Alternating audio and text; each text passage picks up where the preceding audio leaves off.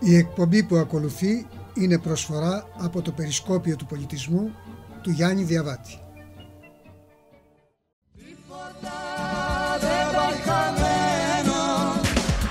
Φίλες και φίλοι, καμία προσπάθεια δεν πάει χαμένη. Αυτό είναι το μήνυμα των εκπομπών μας στο ραδιοδιογέννης.com Κυρίες και κύριοι, φίλες και φίλοι, γεια σας. Όσο πιο πολύ η επικαιρότητα τροφοδοτεί με θέματα τη σκέψη, τόσο περισσότερο οι άνθρωποι προβληματίζονται και ακόμη τόσο περισσότεροι άνθρωποι του παρελθόντος που έχουν διαπρέψει και στην Ελλάδα και στο εξωτερικό, στη δημοσιογραφία, στο σχολιασμό, στην ε, επισκόπηση διεθνών θεμάτων, επανέρχονται στο στίβο, στην κονίστρα της δημοσιογραφίας, της επικαιρότητας, ως σχολιαστές, ως νυν ή πρώην δημοσιογράφοι, δεν έχει σημασία. Αυτό σημασία έχει ότι κάποιοι άνθρωποι, όπως ο σημερινός προσκεκλημένος μας, ο Γιώργος Σομπαρούτης, έχει επανέλθει επειδή ακριβώς όπως ξεκίνησε αυτή την συζήτηση που θα κάνω μαζί του, βλέπει πάρα πολλά ερεθίσματα κάθε είδους οικονομικά, υγείας θέματα, διεθνή θέματα, ελληνικά θέματα, κυρίως βεβαίως στην Ελλάδα και μας έκανε την ε, τιμή και την ευχαρίστηση να έρθει στην εκπομπή μας, στο Περισκόπιο του Πολιτισμού και να σχολιάσει, εφόσον του το ζητήσαμε, τόσο τα διεθνή αλλά κυρίως και τα ελληνικά θέματα. Την πρωτοβουλία θα την έχει εκείνος και μπορούμε να ξεκινήσουμε. Αγαπητέ κύριε Μπαρούτη, μας ακούτε; Ναι, ναι, σας ακούω πολύ καλά. Καλησπέρα. Πολύ ωραία. Δεν θέλω να κάνω, ε, πώς να το πω, λιβάνισμα της διαδρομής σας ε, λόγω σεμνότητας την οποία εσείς ο ίδιος έχετε υιοθετήσει αλλά πρέπει να ξέρει ο κόσμος ότι σε, σε παλαιότερες εκπομπές, ε, ε, συγγνώμη εποχές, είχατε διαπρέψει στην Ιταλία κυρίως. Δεν ξέρω αν είχατε πάει και αλλού, αλλά ξέρω ότι στην Ιταλία είχατε φτιάξει ένα όνομα το οποίο ήταν από τα περίοπτα ονόματα στο χώρο της δημοσιογραφίας, της, ε, του Στον πολιτικό κόσμο, ας πούμε, περισσότερο. Στον πολιτικό κόσμο. Λοιπόν, πάμε στην, λοιπόν... Στην κοινωνία της Ιταλίας. Ακριβέστατα. Επειδή λοιπόν είσαστε έμπειρος και εγώ έχω ε, καθαρή την πρόθεση να σας δώσω την ευκαιρία να κάνετε το σχολιασμό σας. Δεν θα θέσω πλαίσια, απλά θα σας ε, βάλω στη συζήτηση, αν και εσείς συμφωνείτε, αν το επιτρέπετε, ξεκινώντας χρονικά από μία ερώτηση η οποία έχει να κάνει με την μεταπολίτευση και η συγκεκριμένη ερώτηση είναι πώς βλέπετε την Ελλάδα μετά από την επταετία που πέρασε τη λεγόμενη εποχή της μεταπολίτευσης. Είμαστε καλύτερα, είμαστε χειρότερα, είναι ικανοποιητικά, δεν είναι, υπάρχουν ελλείμματα, δεν υπάρχουν. Απλά το σχόλιο σας πολύ συνοπτικά για να περάσουμε σε άλλα θέματα, τα οποία θα αφορούν και επιμέρους θέματα της Ελλάδος, αλλά και της Γερμανίας, της Ευρώπης.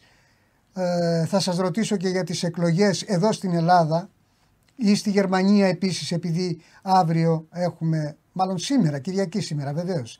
Θα έχουμε τις εκλογές στη Γερμανία. και, και, ναι, σήμερα. Ναι, σήμερα, σήμερα ε, θα σας ναι, ρωτήσω επίσης, θα σας ρωτήσω επίσης και για θέματα εξωτερικής πολιτικής όπως είναι για το Αφγανιστάν, για την Κούβα. Απλά αυτό είναι ένα περίγραμμα το οποίο εγώ έχω κατά νου. Όμως την πρωτοβουλία την έχετε εσείς. Εμείς ζητήσαμε να έρθετε στην εκπομπή σας, στην εκπομπή μας. Ε, συνεπώς ε, έχετε την πρωτοβουλία εσείς να πείτε ό,τι θελήσετε χωρίς φιλτράρισμα, με κατάθεση ψυχής. Λοιπόν, ο λόγος δικός σας, κύριε Μπαρούτη.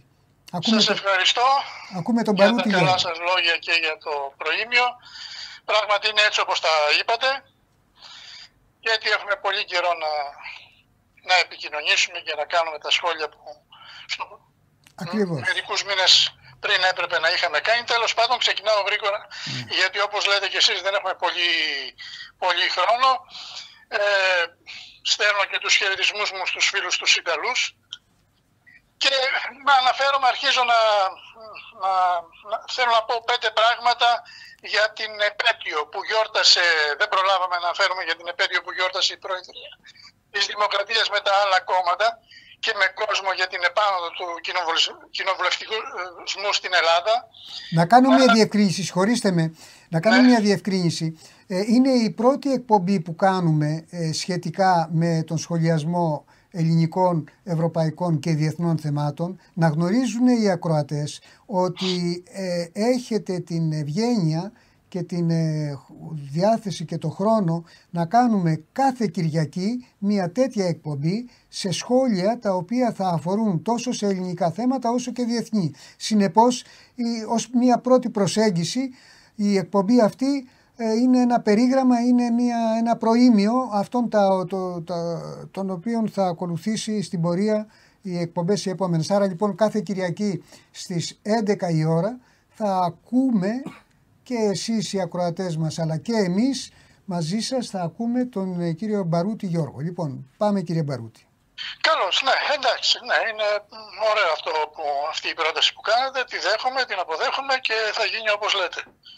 Ωραία. Η, λοιπόν... Λέμε λοιπόν, ε, ε, συνεχίζω ότι με, όπως άρχισα δηλαδή για την επέτειο που γιόρτασε η Προεδρία της Δημοκρατίας με τα άλλα κόμματα ναι.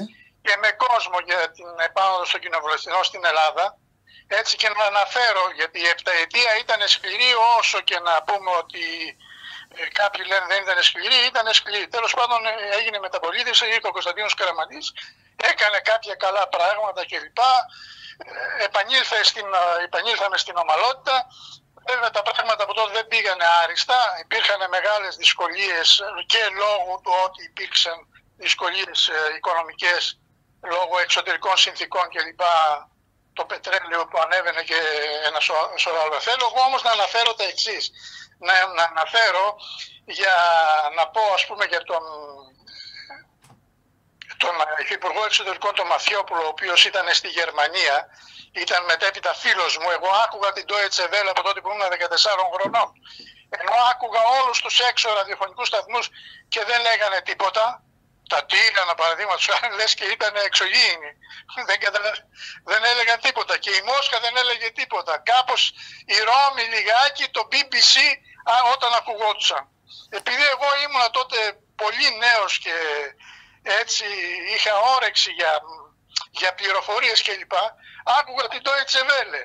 Από εκεί άκουγα τον Μαθιόπουλο όπου πριν την πτώση δικτατορίας ενεργούσε από τη Δυτική Γερμανία με τον τότε επίσης εξόριστο Παύλο Μπακογιάννη, οι οποίοι έκαναν δικτατορικό αγώνα έντονα για την πτώση της δικτατορίας και που αργότερα και οι δύο από διαφορετικά κόμματα βέβαια ο καθένας, ο, ο Μακαρής ο Μαθιόπουλος από το Πατσόκ, ο Δε Παύλος Μπακογιάννης από τη Νέα Δημοκρατία συνεισέφεραν στην εδραίωση του κοινοβουλευτισμού και την προπαρασκευή της Ελλάδας για να μπει στην Ευρωπαϊκή Ένωση. Ο Δε Παύλος Μπακογιάννης έπαιξε, είχε και έναν ιδιαίτερα ιστορικό ρόλο για την αναγνώριση της εθνικής αντίστασης με τον Πρωθυπουργό τότε τον Κώστα Μητσοτάκη τότε το 89 με το σκάνδαλο Κοσκοτάκη πλήρωσε με τη ζωή του που λίγοι ξέρουν για ποιο λόγο ε, ο Παύλος ο Παπογιάννης είχε αυτό τον ιστορικό λόγο. Δηλαδή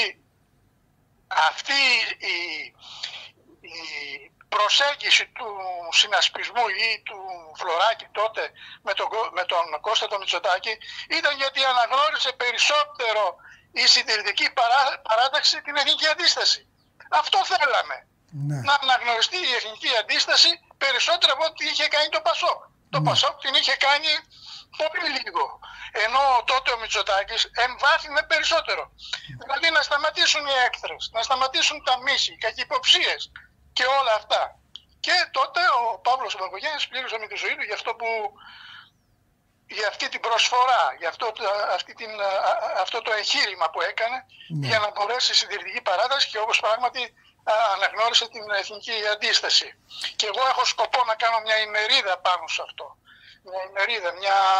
Ε, μια να καλέσω ας πούμε κόσμο να μιλήσει μια και για αυτή την περίοδο αλλά να πάμε και πολύ παλιά για να μην ξεχνάμε ναι. να μην ξεχνάμε παραδείγματος χάρη τη δολοφονία του Πολκ γιατί έγινε η δολοφονία του Πολκ να μην ξεχνάμε ότι οι λαμπράκηδες όπως έλεγε και ο Κώστας ο Μητσοτάκης ήταν κεντρόιλε, είχαν την ΕΔΗΝ. Πράγματι έτσι ήταν.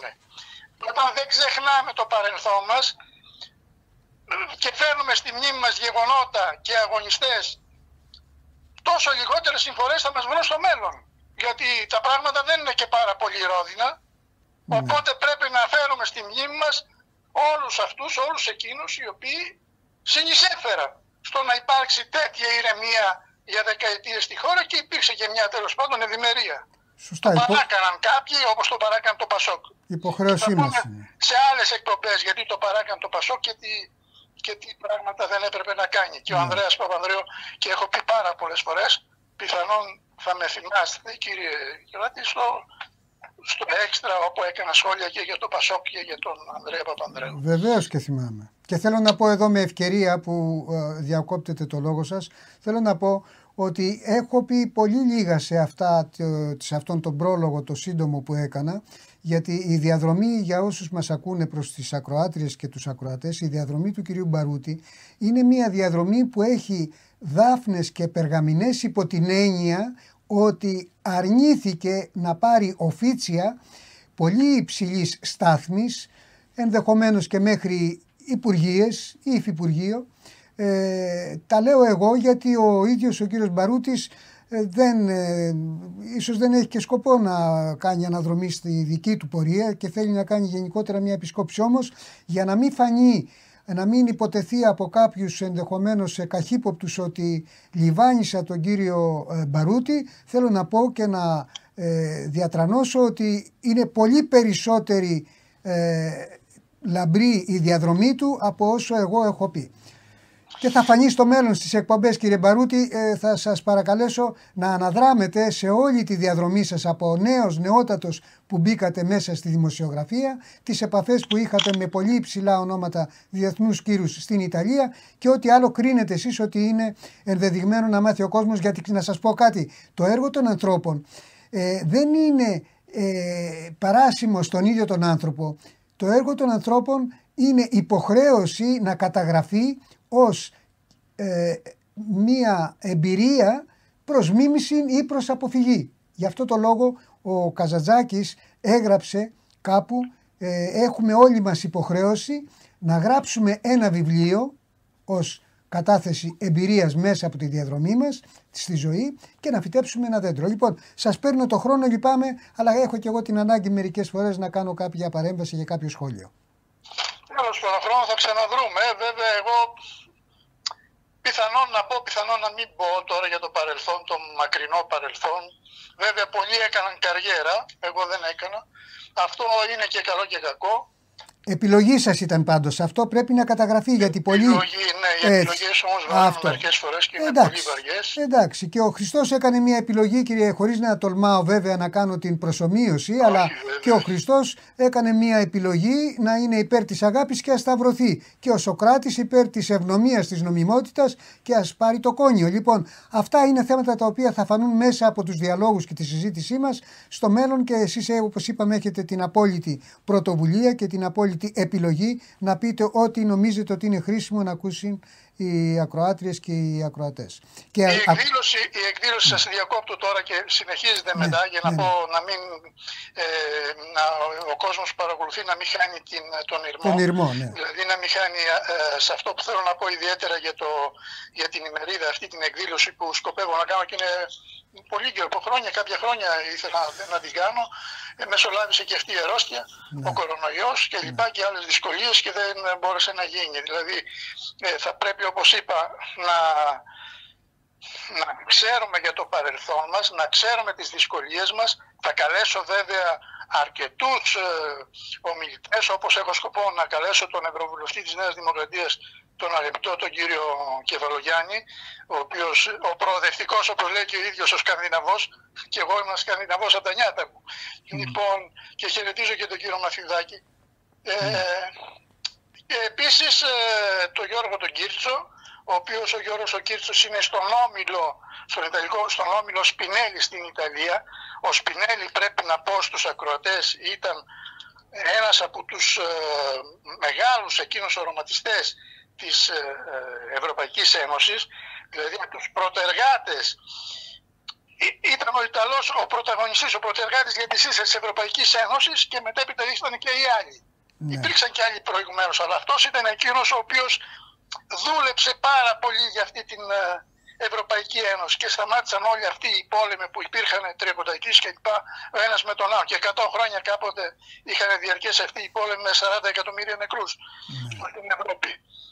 Ε, οπότε ε, πιστεύω ότι θα δεχθούν την πρόσκληση και ε, να κάνουμε μια ημερίδα όπου θα αναπτυχθούν πάρα πολλά πράγματα. Ωραία, οψόμεθα, οψόμεθα. Πάμε λοιπόν, θέλετε να πάμε στα θέματα της Ευρώπης και της Ελλάδος ειδικότερα; Κοιτάξτε, ε, ε, θέλω να πω βέβαια για την οικονομία η οποία βλέπω και ο Πρωθυπουργός αλλά και ο Υπουργός Εξωτερικών ο, ο Χρήστος Σταϊκούρας είχαν αρκετές επιτυχίες στο εξωτερικό τόσο με τα ομόλογα πήραν δηλαδή ομόλογα με μηδενικά επιτόκια ναι. 2,5 δισεκατομμύρια μηδενικά επιτόκια για 5 χρόνια και τα άλλα με χαμηλά επιτόκια για 30 χρόνια. Και ναι. η προσφορά ήταν μεγάλη στα ομόλογα, δεν τα πήραν όλα. Δεν πειράζει, καλά ίσως έκαναν. Θέλω να πω ότι η οικονομία ε, προχωράει. Όπως ε, ήμουνα πάντα, ήμουν υπέρ της ιδιωτικής πρωτοβουλίας. Είχαμε και μια επιχείρηση στο, οικογενειακή στο, στην οικογένειά μου και υπάρχει ακόμη σήμερα. Ε, χαίρομαι ιδιαίτερα διότι επαναλειτουργούν τα, τα, τα ναυπηγεία Σκαραμαγκά και θα χαρώ πολύ να δω να ελιμενίζονται πλοία εδώ πέρα και να συναγνωρούνται και άλλα και ελληνικά πλοία αλλά και να επισκευάζονται. Ε, είναι πάρα πολύ καλό, κάτι που είχε, μας έλειπε χρόνια, δηλαδή είχε κλείσει αυτή η είχαν κλείσει την αναπηρία και είχαν μεγάλη χασούρα. Ναι. Και σαν όνομα και, αλλά και σε θέσει εργασίας. Είναι πάρα πολύ σημαντικό που, που ξεκινάει κάτι τέτοιο πάλι. Σωστά. Και επίσης πρέπει να πω ότι ε, δεν είναι μόνο τα ναυπηγεία, είναι, είναι και η Pfizer που έφερε ο Πρωθυπουργός στην χώρα και είναι πάρα πολύ σημαντικό διότι έγινε και μια μεγάλη δωρεά από τον Πρωθυπουργό στη Βόρεια Μακεδονία για τον πληθυσμό όπως και στην Ιορδανία, ούτως ώστε εκεί ο πληθυσμός να εμβολιαστεί και να σταματήσει η εξάπλωση της ασθένειας. Είναι πολύ σημαντικό αυτό. Ε, εγώ πιστεύω στον εμβολιασμό, έχω κάνει δύο εμβόλια, όταν με καλέσει στο νοσοκομείο θα κάνω και το τρίτο εμβόλιο και πιστεύω ότι παρόλο που κατηγορούνται, άκουσα και το ποντίφικα τις προάλλες που είπε ότι και το Βατικανό ήταν ανέκαθεν υπέρ των εμβολίων. Έτσι είναι πράγματι. Εγώ θυμάμαι από πάρα πολύ παλιά ότι ήταν υπέρ των εμβολίων. Κάποιοι είναι αντίθετοι, έχουν τους λόγους τους. Εγώ δεν μπορώ να το επικροτήσω αυτό. Πρέπει ο κόσμος να, να κάνει τα εμβόλια όσο και φόβος να υπάρχει, όσο, όσο, ό,τι και αμφιβολία να υπάρχει. Τώρα έχουμε και άλλες εγγύησεις από τον Ευρωπαϊκό Οργανισμό Φαρμάκων, οπότε πιστεύω ότι θα πρέπει να εμβολιαστούν. Και αυτό θα σημαίνει και το τέλος της ανασφάλειας ελληνικής οικονομίας, γιατί εξαρτάται πολύ από το πώς θα πάει, από το πώς θα πάει η, η, το εμβόλιο. Δηλαδή αν σταματήσουν να υπάρχουν όπως τώρα πια σταμάτησε να υπάρχει ο ιός στην Αγγλία από αυτά που έκανε ο Πρωθυπουργός ο Μπόρις Τζόνσον και πάει πολύ καλά, έτσι θα είναι και στην Ελλάδα. Δηλαδή και αναθεωρώ την ε, πρόβλεψή μου, την προμηνός, προμηνών πρόβλεψη για τα 10-15 δισεκατομμύρια έσοδα από, την, ε, από, την, ε, από τον τουρισμό, την αναθεωρώ προς τα πάνω. Γιατί βλέπω θα έχουμε πάρα πολύ καλά αποτελέσματα. Διότι ο τουρισμός θα βοηθήσει πάρα πολύ την ελληνική οικονομία και θα βοηθήσει και τις άλλες και τα άλλα, τα άλλα κομμάτια της οικονομίας τις άλλες παραμέτρους, ναι. Ε, εννοείται δηλαδή ότι ε, απελευθερωθήσεις της Ελλάδος, απελευθερωθέντος του ελληνικού πληθυσμού από τον κορονοϊό θα αυξηθεί η, ο τουρισμός, άρα και η οικονομία. Αυτό λέτε. Σαφώς, σαφώς, ναι. Ωραία. Σας προτείνω... Όταν έγινε, η, ξέσπασε η ασθένεια στην Κίνα, από τότε έλεγα στο στενό μου περιβάλλον παρόλο που δεν ήταν εμφανές τότε, δεν το έβλεπαν, αλλά στο στενό μου περιβάλλον έλεγα ότι θα, θα προκαταλάβει την οικονομία παγκοσμίως. Πράγματι, ο ιός αυτός... Εξαπλώθηκε, ναι. Εξαπλώθηκε και ε, έκανε μεγάλη ζημιά. Πάρα πολύ μεγάλη ζημιά. Ωραία. Ε, Έτσι, πόσα καταστήματα κλείσανε κλπ. Ναι, σας ακούω με προσοχή και με σεβασμό. Ε, αν θέλετε, ε, πρόταση είναι, δεν είναι απόφαση εκ μέρους μου, ο χρόνος είναι δικός σας, όπως θέλετε τον διαχειρίζεστε, αλλά αν θέλετε, προτείνω να μείνουμε σε μια ε, επιδερμική, σφαιρική επισκόπηση των πραγμάτων, χωρίς να μπούμε σε λεπτομέρειες, κατά τρόπο που να μπορέσετε να ε, πραγματευτείτε περισσότερα θέματα, έτσι όπως είναι, όπως είναι για παράδειγμα ε, για την Κούβα να μας πείτε, για το Αφγανιστάν να μας πείτε, για τη Γερμανία μέσα στην Ευρώπη να μας πείτε, για τις εκλογές ενδεχομένως αν θέλετε να πείτε κάποια πρόβλεψη ε, πού και πώς ε, θα εξελιχθούν εδώ ή στη Γερμανία. Ε, συνεπώς η πρότασή μου είναι όσο μπορούμε πιο συνοπτικά για να μπορέσουμε να Ωραία, εντάξει, ναι, εντάξει, ναι. Να πω μόνο δύο λόγια για να τελειώσω για τους εμβολιασμούς. Ναι. Δύο λόγια, συντομία και μετά θα περάσω στα άλλα θέματα που Ωραία, ωραία. Έτσι, θα πω έτσι, όπου άκουγα την κυρία Πυριώτη παραδείγματος χάρη, είναι έντιμη δημοσιογράφος και έντιμη, καλή δημοσιογράφος και έντιμη γυναίκα.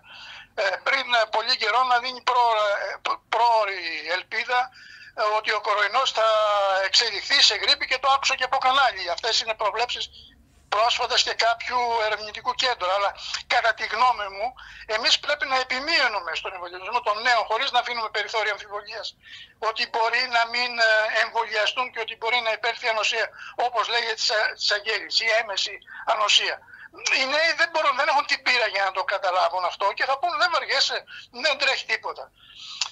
Σκεφτείτε να, να, να εξαπλωθεί όπως εξαπλώνεται ε, ο ιός τώρα και στα παιδιά. Και άκουσα και κάτι πάρα πολύ σημαντικό από κάποιο σταθμό. Ότι το 14-15 στην Ιταλία, στη Βόρεια Ιταλία, από τη γρήπη μεταδόθηκε από τα παιδιά στους μεγάλους. Και είχαμε χιλιάδες νεκρούς. Και κανείς δεν ήξερε, δεν καταλάβαινε κανείς γιατρός πώς έγινε, Πώς πέθανε ο κόσμος. Και το βρήκαν πολύ μετά. Ότι η γρήπη μεταδιδόταν από τα νύπια, από τα παιδιά, στους μεγάλους και πέθαναν δεκάδες χιλιάδες. Να ξέρω. περάσω τώρα, όπως λέτε, ναι, ναι. και στο, στην Κούβα. Έτσι, ε, στην ε, Κούβα ε, προμηνώς είχα. Ε, συγχωρήστε με, κύριε Μπαρούτη. Κύριε Μπαρούτη. Ναι, ναι, ναι. Ακούγεστε, αλλά Προσέξτε να μου δίνετε την ευκαιρία να εκφράζομαι που και που. Προσέξτε. Ναι, ναι, ναι. Είμα... Πείτε μου και εγώ θα σταματάω. Είμαστε... Εγώ παίρνω φόρα και... Είμαστε τώρα... Ε, καλύτερα να είσαστε χυμαρόδεις παρά να μην έχετε τι να πείτε. Αλλά να, για τη διαχείριση του χρόνου και την, ε, ε τη σκαλέτα που λέμε εμείς οι δημοσιογράφοι, ναι, ναι, οι ναι, δημοσιογραφούντες ε, των θεμάτων, ε, είμαστε τώρα στα 23 λεπτά περίπου. έχουμε λοιπόν τρία-τέσσερα θέματα ακόμη. Σας προτείνω να διαχειριστούμε το χρόνο έστω συνοπτικά και θα επανέλθετε σε αυτά. Θέλοντας ε, να πω εγώ ότι, ή μάλλον ας πω για τις δικές μου θέσεις στο τέλος δύο λόγια. Ναι. Ε, μέχρι τώρα έχει, έχω πει εγώ για τη διαδρομή σας και εσείς έχετε κάνει το σχόλιο επάνω στα θέματα του κορονοϊού, πολύ συνοπτικά βεβαίως και θα επανέλθετε όποτε θελήσετε την επόμενη Κυριακή ή τη μεθεπόμενη κτλ.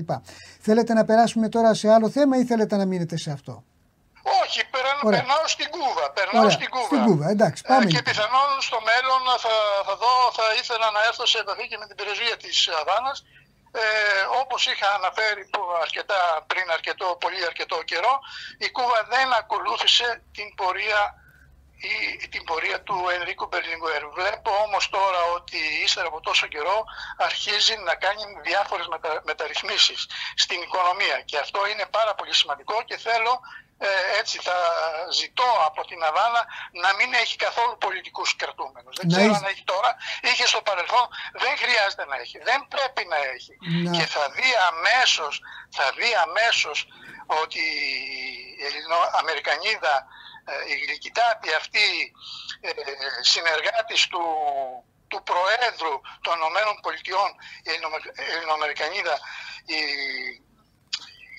Τζέν Ψάκη, θα προσπαθήσει να έρθει σε επαφή με την Αβάνα για να μπορέσει να δει με ποιο τρόπο η Τζέν Ψάκη είναι εκπρόσωπος τύπου, τύπου του, του Λευκού Οίκου και είναι πολύ δραστήρια γυναίκα θα, θα προσπαθήσει να έρθει σε επαφή με την Κούβα, με την κυβέρνηση της Αβάνας, να αρθεί το εμπάρκο σιγά σιγά για την ευημερία του, του λαού της Κούβας. Ε, διότι και αυτό το εμπάρκο κάνει, κάνει μεγάλη ζημιά στην οικονομία. Πρέπει να πούμε ότι η Κούβα, να μην τους αδικούμε εξ ολοκλήρου, αλλά δεν είναι μόνο εκείνο, μου έλεγαν γιατροί χριστιανοδημοκράτες πριν 30 χρόνια στην Ιταλία, ότι στην έρευνα είχαν κάνει πολύ καλή δουλειά. Είναι καλό αυτό βέβαια, η υγεία είναι ένα μέγιστο αγαθό, αλλά και η οικονομία και η ελευθερία είναι και αυτά μέγιστα αγαθά. Οπότε όταν καλυτερεύσουν λίγο τα πράγματα στην ε, Κούβα θα δούμε ότι η Τζέμ Ψάκη, η εκπρόσωπος τύπους, του, εκπρόσωπος τύπου του Λευκού Οίκου, του Προέδρου, ο οποίος πασχίζει για την ευημερία έτσι γενικά στη, στις περιοχές, στις διάφορες περιοχές και με τον υφυπουργό του και για μας και, και για μας. Θα έρθει σε επαφή με την Αβάνα για να μπορέσει σιγά σιγά να έρθει το εμπάργο και να πάνε και διάφορες πρότες, διάφορα, να λυθούν διάφορες ανάγκες που έχει η Κούβα. Γι' αυτό χωρίς πολιτικούς κρατούμενους δεν έχει τίποτα να φοβηθεί. Θα έχει ανάπτυξη της οικονομίας, θα έχει επαφή με τις Ηνωμένες Πολιτείες και θα έχει και την, ε, και την ε, καλή μαρτυρία από τον έξω κόσμο. Ωραία, και είμαστε... σταματάω και εγώ λίγο αν θέλετε να πείτε κάτι, να με παροτρύνει να πω κάτι άλλο. Α, ακούστε, Αυτό είχα να πω για την Κούβα. Α, ακούστε, ε, βλέπω το εξής πράγμα ότι εσείς ε, καθώς ε, γνωρίζετε καλά τα θέματα σε όποια θέματα έχετε ενδιατρύψει εν πάση περιπτώσει και θέλετε να περάσετε σε λεπτομέρειες ενδεχομένως αν συμφωνείτε κι εσείς να κάνουμε θεματικές εκπομπές δηλαδή να κάνουμε την επόμενη ή τη μεθεπόμενη εκπομπή ε, εφόσον πρώτα έχουμε προαναγγείλει το θέμα να πιάσετε ένα ή δύο θέματα και να κάνετε την ανάλυση σας ε, περισσότερο λεπτομεριακά από όσο έχω προαναγγείλει εγώ ότι θα γίνει σήμερα μία συνοπτική εκπομπή με επιδερμική θεώρηση σφαιρικά, γενικά, χωρίς να εμβαθύνουμε. Είμαστε στη μισή ώρα ακριβώς τώρα και έχουμε μιλήσει μόνο για τρία θέματα. Το ένα είναι η διαδρομή σας, λίγο πολύ όσο μπόρεσα εγώ να πω. Το δεύτερο ήταν για, τις, ε, για τον κορονοϊό. Είπατε και για την Κούβα. Θέλετε να πείτε τώρα για το Αφγανιστάν, να πείτε για τη Γερμανία, να πείτε για την θα Ευρωπαϊκή Ένωση. για τη Γερμανία, θα πω λίγα λόγια τώρα για την, ότι είμαστε τυχεροί που είμαστε στην Ευρωπαϊκή Ένωση. Ε, πρέπει να έχουμε, να φυλάτουμε, να φυλάτουμε σαν κόρηνο οφθαλμού την ε, κυρία, την Φράου Φόντερ Ράιεν, η οποία είναι πυλώνας για την Ευρωπαϊκή Ένωση. Είναι εκείνη η οποία έχει μεγάλο ενδιαφέρον για να σταθεί στα πόδια της Ευρωπαϊκή Ένωση και στις ομιλίες της είναι, τι να πω, είναι το κάτι άλλο. Δηλαδή εγώ της έχω μεγάλη εμπιστοσύνη και έχει προσφέρει πολλά στην Ευρωπαϊκή Ένωση και συνεχίζει να το κάνει. Τώρα όσον αφορά για τις εκλογές ε, της, ε, της Γερμανίας θέλετε να πείτε για τις ελληνικές; Ό,τι εσείς νομίζετε κύριε Μπαρούτη. Πέστε ε, δύο λόγια και για τις δύο. Έχουμε, θα έχουμε εκλογές. Πιστεύω ότι θα υπάρξει ένα συνασπισμός κομμάτων για να μπορέσει να γίνει κυβέρνηση. Ε, δεν είμαι σίγουρος γι' αυτό.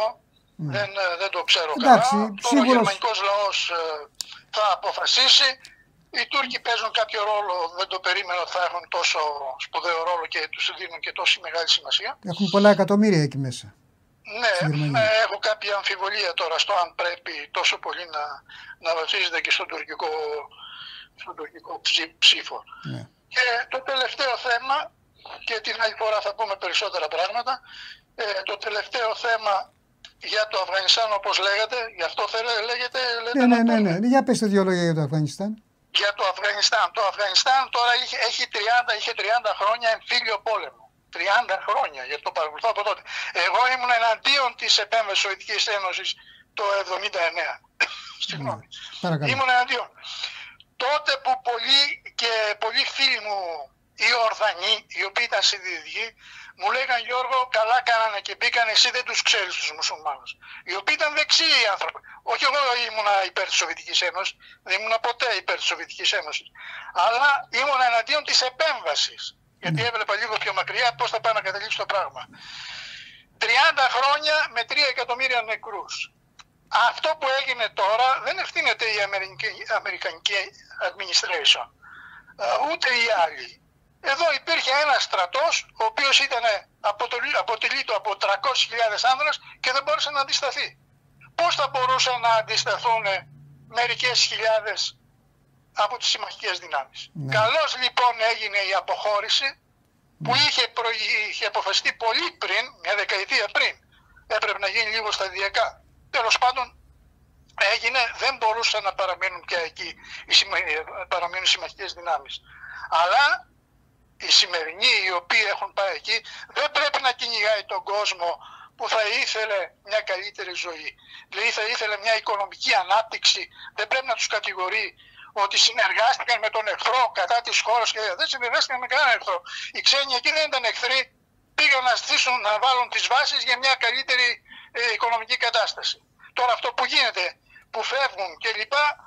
δεν πρέπει να, δεν πρέπει να συνεχιστεί από εκείνη την κυβέρνηση, αλλά θα πρέπει να συνεργαστεί με όλο τον κόσμο για να μπορέσει να σταθεί στα πόδια της και ο κόσμος να παραμείνει εκεί. Ωραία, θέλετε να, πείτε, θέλετε να πείτε δύο λόγια και για τις ε, ελληνικές εκλογές, τις βλέπετε πρόορες, τις βλέπετε κανονικά όταν ε, θα έρθει η ώρα, πώς το βλέπετε; Εκλογές τώρα δεν βλέπω. Ναι. Δεν έχει λόγο να τις κάνει. Πιστεύω θα προχωρήσει, θα τελειώσει η τετραετία. Άλλωστε και ο επόμενος πρωθυπουργός θα είναι ο Κυριάκος.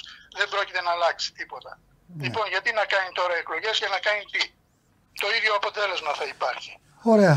Θέλετε... Αυτή είναι η πρόβλεψή μου. Ναι. Αν ναι. τυχόν υπάρχει κάτι άλλο στην επόμενη Κοιτάξτε, φορά... πολλά έχω, πολλά έχω να σας ρωτήσω επειδή γνωρίζω ότι έχετε μελετήσει εδώ και πολλά χρόνια από την παιδική ηλικία όπως ήδη βγήκε μέσα από τη συζήτηση. Έχετε μελετήσει την πολιτική και τη διεθνή και την ελληνική πολιτική. Και πολλά Διάβαζα ξένο τύπο από μικρός. Ναι, μα γι' αυτό το λόγο... Ακριβώς. Για... Πολύ σημαντικό για τότε. Λίγοι ε, τότε διάβαζαν ξένο τύπο. Ναι, πολύ σημαντικό βέβαια. Και δεν είναι μόνο αυτό, είναι ότι έχετε το ενδιαφέρον, έχετε μνήμη καλή, δεν ξέρω, ε, μιλάτε από στήθους, έτσι δεν είναι, από ό,τι έχω... Φυσικά, ναι, από ναι, στήθους. ναι. Αυτό, ε, εδώ, συγχωρήστε με... Ο πρώην, ο πρώην διευθυντής της ΕΡΤ μου έλεγε ότι πρέπει να τα γράφω για όταν μιλάω. Λέει, εμείς τα γράφουμε, λέει, γιατί εσύ, λέει, δεν τα γράφεις; Ναι. Να, λοιπόν, ε, είναι... Έχει δίκιο εν μέρη γιατί μπορεί καμιά φορά να γίνει και κάποιο λάθος, μπορεί κάτι να διεφεύγει και είναι δύσκολο να το, να το φέρεις στη μνήμη σου εκείνη τη στιγμή γιατί ο χρόνος όπως λέτε δεν υπάρχει. Παρά τα αυτά, παρά τα αυτά, το πηγαίο και το αυθόρμητο, η αποψυχής κατάθεση, ακόμη και αν υπάρξει κάποιο σαρδάμ, κάποιο ε, μικρό ή μεγαλύτερο πρόβλημα, είναι προτιμότερο η συζήτηση, νομίζω εγώ, είναι προτιμότερο η συζήτηση να είναι αποψυχής ε, και ας έχει και κάποια μικρολάθη από το να είναι επιτιδευμένη, να είναι οριοθετημένη, να είναι ε, σαν ένα κοστούμι ατσαλάκωτο και να έχει την, ε, το φόβο να ερμηνευτεί από τους ακροατές ή τηλεθεατές όταν πρόκειται για τηλεόραση ως μια στημένη εκπομπή. Εμείς εδώ ανοίγουμε την ψυχή μας και μιλάμε και νομίζω είναι το καλύτερο. Βεβαίως αυτό δεν εμποδίζει να έχουμε και μια σκαλέτα, ε, μια, έτσι, ένα σκελετό στο, ε, στα θέματά μας, ε, πράγμα το οποίο θα γίνει την επόμενη φορά. Αυτή τη φορά κύριε Μπαρούτη ε, ήθελα να σας παρουσιάσω, σας παρακάλεσα, ήρθατε με προθυμία στην εκπομπή μας, στο Περισκόπιο του Πολιτισμού. Αναπτύξαμε κάποια θέματα τα οποία λίγο ή πολύ ήταν απροετοίμαστα, όμως εκείνο το οποίο θέλω να σας παρακαλέσω είναι την επόμενη φορά να έχουμε ένα, δύο ή τρία το πολύ θέματα στα οποία θα περάσουμε και σε λεπτομέρειες για να μπορούμε να τα προανακοινώνουμε, να τα προαναγγέλουμε έτσι ώστε οι άνθρωποι οι οποίοι ε, σας γνωρίζουν από παλαιότερα και που θα αρχίσουν να παρακολουθούν πάλι τις καταθέσεις σας και τα σχόλιά σας να γνωρίζουν από νωρίτερα ποια είναι τα θέματα εκείνα τα οποία θα πραγματευτείτε. Αυτό είναι μια πρόταση δική μου αλλά εσείς έχετε την πρωτοβουλία και την απόφαση. Καλώς, την αποδέχομαι. Δεν είναι... Πολύ ωραία. Τότε λοιπόν. Καλώ κάνετε και κάνετε προτάσεις, συζητάμε ωραία. και αποφασίζουμε από κοινού. Δεν είναι ότι. Πάρα πολύ καλά, πάρα πολύ καλά. Ένα άλλο σημείο στο οποίο κύριε Μπαρούτη θέλω να πω και αυτή είναι και η ομορφιά αυτής της εκπομπής ότι είναι πραγματική, δεν είναι στημένη. Είναι ότι ε, εγώ έχω σε κάποια σημεία έχω μία άλλη άποψη. Αλλά προσέξτε, η δημοσιογραφία είναι δύο σχολών.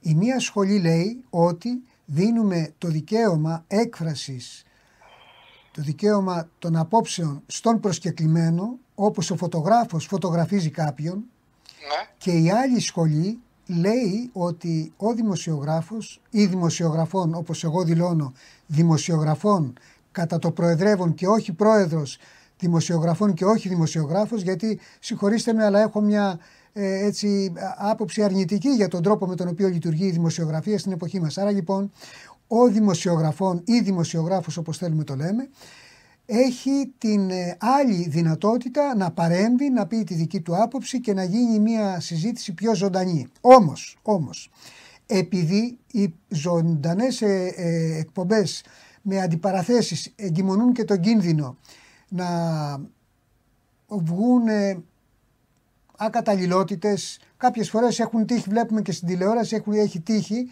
να υπάρχουν ακόμη και ύβρις.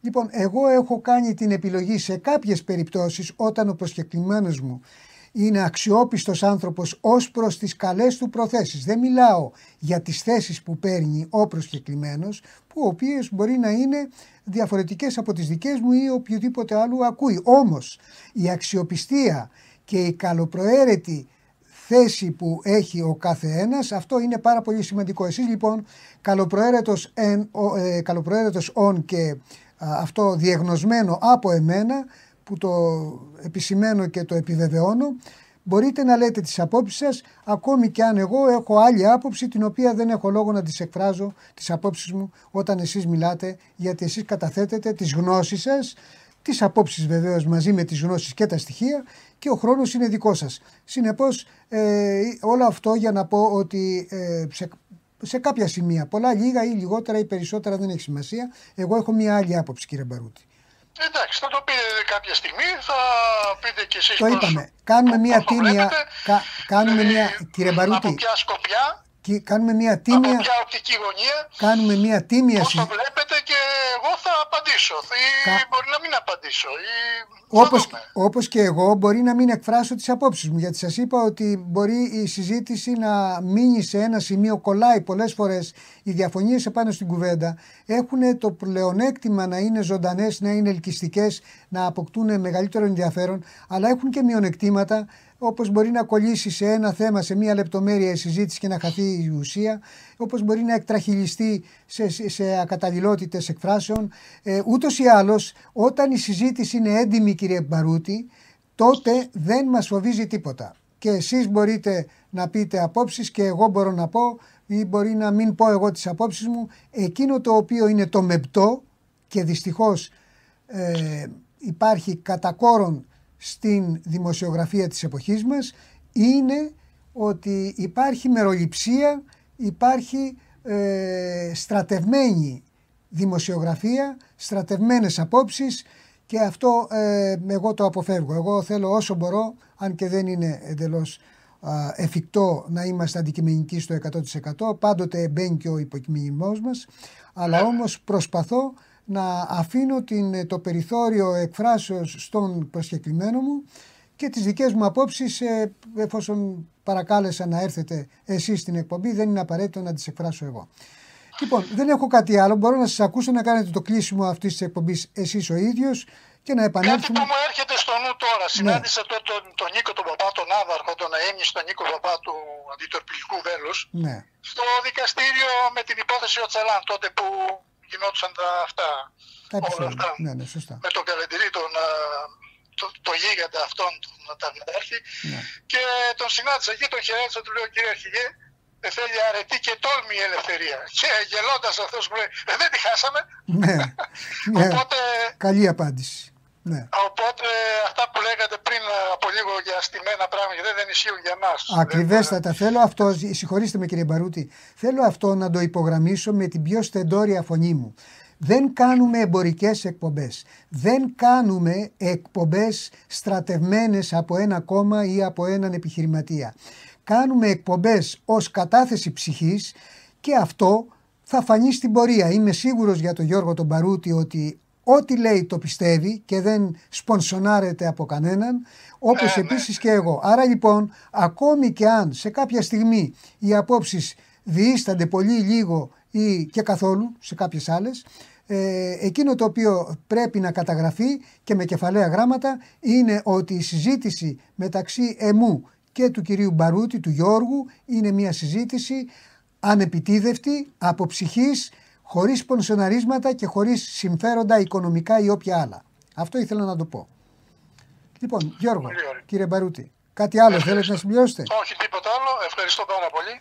Λοιπόν, εγώ να σας ευχαριστήσω για την προθυμία με την οποία, ε, και την αμεσότητα με την οποία ανταποκριθήκατε στο κάλεσμά μου για να έρθετε σε αυτή την εκπομπή στο Περισκόπιο του Πολιτισμού. Υπενθυμίζω σε ακροάτριες και ακροατές ότι θα έχουμε τον κύριο Μπαρούτη, τον Γιώργο Μπαρούτη, παλαιό δημοσιογράφο, ο οποίος ε, ανανύπτει τώρα γιατί όλα αυτά τα πράγματα τα οποία συμβαίνουν στην Ελλάδα και παγκοσμίως τον ε, ξαναέβαλαν σε πειρασμό να ασχοληθεί με τη δημοσιογραφία και το σχολιασμό. Και θα τον έχουμε τον Γιώργο τον Παρούτη κάθε Κυριακή στο βαθμό βεβαίως που οι συνθήκες το επιτρέπουν έτσι διότι οι άνθρωποι είμαστε αλλά το πρόγραμμα είναι αυτό. Κάθε Κυριακή στις 11 η ώρα να τον ακούτε και βεβαιότατα κάποια στιγμή θα υπάρξουν και ερωτήσεις εκ μέρους σας για να πάρει μεγαλύτερη ζωντάνια αυτή η εκπομπή. Κύριε Μπαρούτη, να σας ευχαριστήσω και αν θέλετε να πείτε ένα μήνυμα στους ε, τηλεθεατές, στους ε, ακροατές και στις ακροάτριες.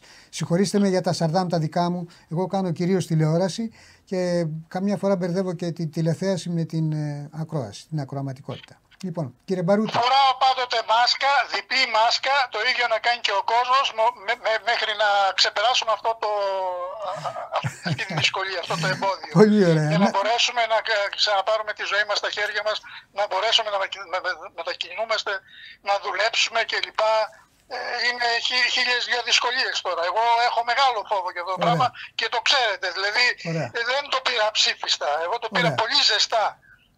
Ε, Σεβαστό. αυτό το θέμα με την, με την ασθένεια. Σεβαστό. Και οπότε, οπότε κυκλοφορώ, αλλά δυσκολεύομαι και εγώ να κυκλοφορήσω. Ωραία. Αυτό λοιπόν είναι το μήνυμά σας. Σεβαστό να θυμηθούμε τον Βολτέρο, ο οποίος είπε: Διαφωνώ μαζί σας, αλλά όμως θα υπερασπιστώ την ε, δυνατότητα να εκφραστείτε ακόμη και αν με δέρουν. Κάπως έτσι το είχε πει.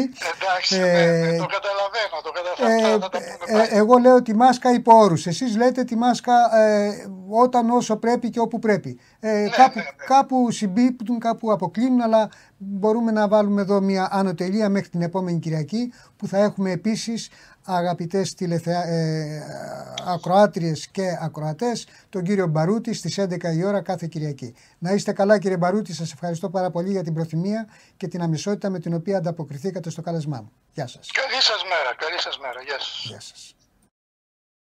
Κυρίες και κύριοι, φίλες και φίλοι, το θέμα που παρακολουθήσατε ήταν προσφορά από την εκπομπή στο Περισκόπιο του Πολιτισμού του Γιάννη Διαβάτη.